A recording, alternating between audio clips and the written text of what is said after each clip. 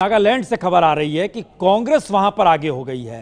ये भी एक, ये भी एक बड़ा महत्वपूर्ण है कि अगर नागालैंड में कांग्रेस आगे हो गई है, और संजय, फिर आपसे एक सवाल हम पूछेंगे। आप जब सर्वे कर रहे थे तो बता रहे थे कि पूर्वी भारत में विस्तार हो रहा है बीजेपी का, और नागालैंड लोकसभा में कांग्रेस समर्थित जो उम्मीदवार है, एनपीएफ का, वो आगे चल रहा है। ये मैसेज क्या है? नहीं पूर्वी इलाके में जो, जिसको हम नॉर्थ ईस्ट कहते हैं, वहाँ बीजेपी का विस्तार हो रहा है, उसके लिए सर्वे करने की ज़रूरत नहीं है।